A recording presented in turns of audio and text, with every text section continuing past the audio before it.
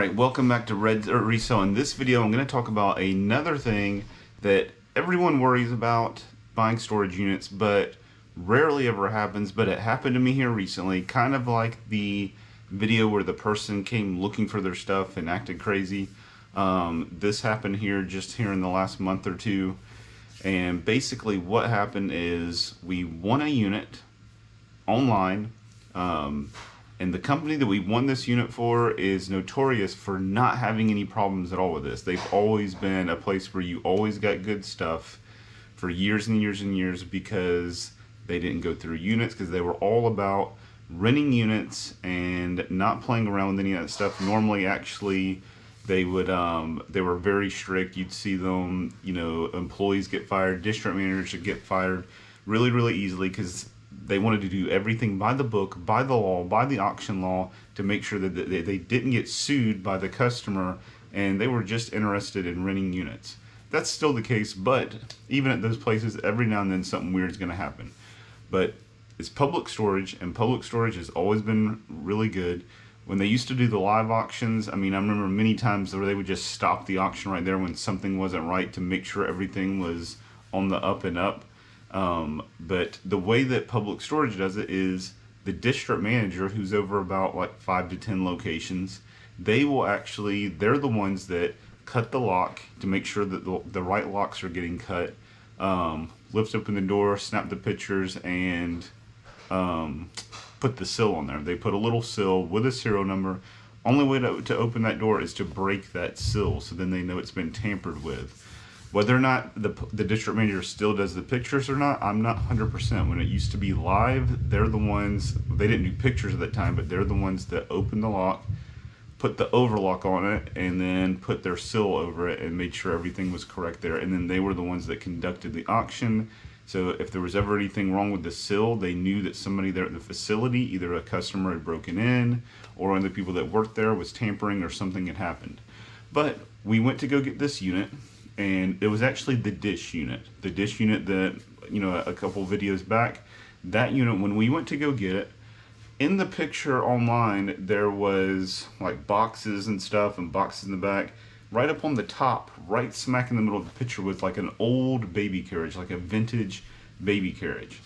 We went to go get the unit and the way it works online you go and you pay. You go and you pay in the office once you're done. They will walk you to the unit and they will unlock it because they have their overlock on it and then they will break the sill and show you the sill and everything.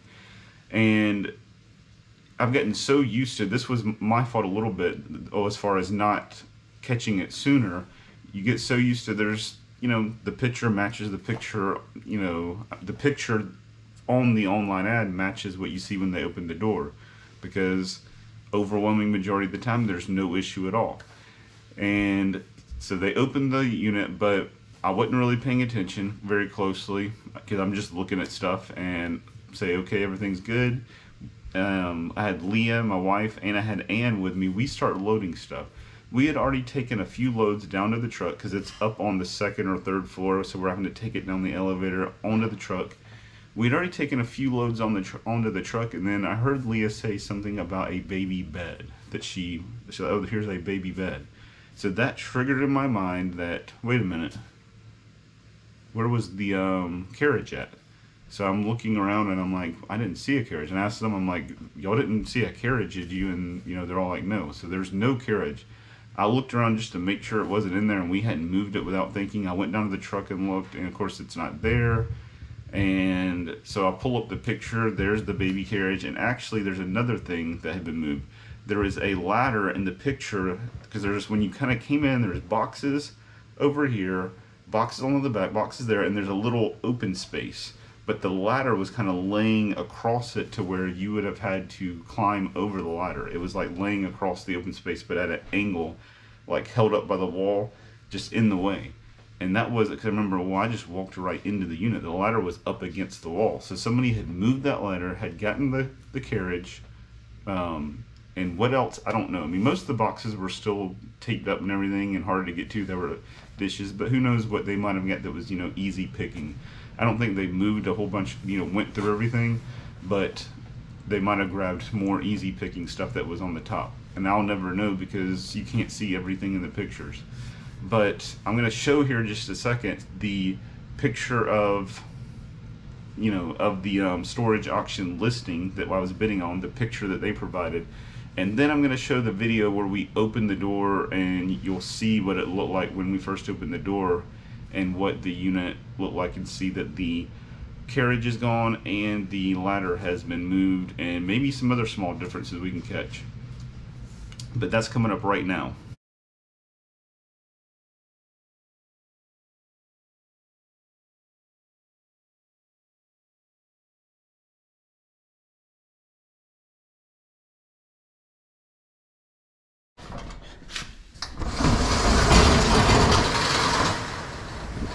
And it's dark in here. There's no light in here. But as you see, the unit goes 10 foot that way. We got boxes and furniture, everything. And then it's, I'm sorry, it actually goes 12 foot that way. And then it's 15 foot that way. So if we come in here, we got lots of boxes. All right, so basically once I figured out that somebody had been in the unit, even though the sill was still on there, I go down to the office and I talk to the guy and I already knew that the guy in the office was like the, um, what they call the floater they all all these facilities have a manager and then when that manager has to have a day off but their facility is still open they'll have somebody that kind of floats around to the different facilities and just covers that day's shift and the next day they're at a different location. So they normally don't know everything about what's going on at the locations in detail most of the time. So I go down there and he's like he's like yeah you're right I didn't I didn't see that because I showed him the picture and it was right in the middle. He's like yeah I don't remember seeing that and he's and, you know the sill was on there so he calls the district manager, and the district manager, you know, kind of just blows me off. Honest, honestly, I mean, I didn't talk to him, but I could hear what he was saying. It was one of those things where it was quiet there, and I could hear every word coming through the phone. He's basically told him that I needed to call storage treasures.